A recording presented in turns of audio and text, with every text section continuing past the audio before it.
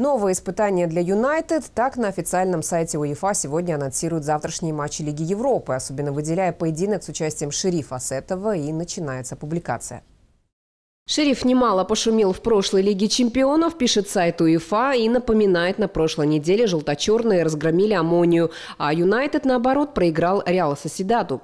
В публикации намекают, что Шериф завтра будет играть от обороны, и у английского Гранда с такими соперниками всегда возникают проблемы. Завтрашний матч будут обслуживать судьи из Польши, главный арбитр Павел Рачковский, у него более 50 международных матчей в карьере.